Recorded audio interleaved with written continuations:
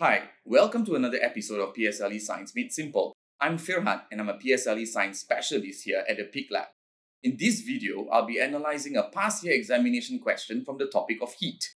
I've placed a question in a handout and you may download it for free by clicking on the link in the description box below. So let's begin. Question 18. The diagram below shows the structure of a house in a cold country. What is interesting for cold countries is usually the houses always have a black roof. What is so special about the color black? We know that black is a good absorber of heat. And since black is a good absorber of heat, would it increase or decrease the amount of heat gain from the sun in the day?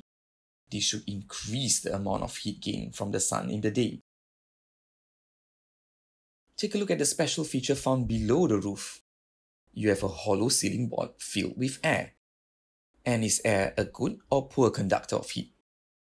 We know air is a poor conductor of heat. I'm using the symbol C for conductor.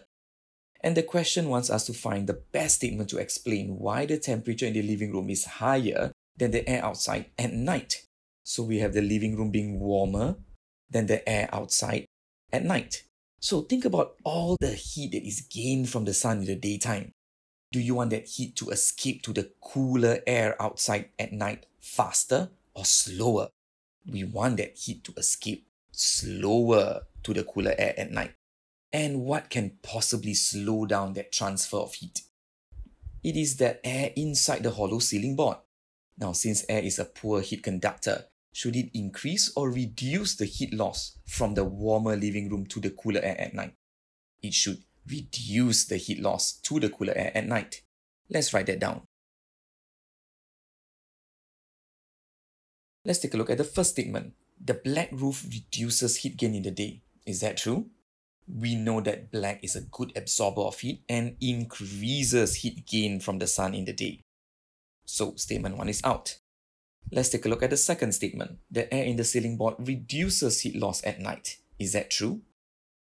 Since air is a poor conductor of heat, it reduces heat loss from the warmer living room to the cooler air at night. So this statement is true and is our answer. But let's just take a look at option 3 and 4. Is the air a good conductor of heat?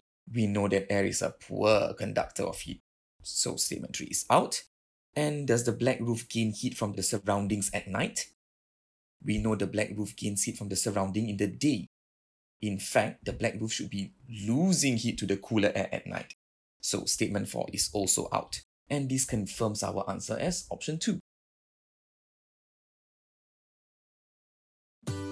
Thank you for watching and I hope you enjoyed this video. If you found this video useful, do give us a thumbs up.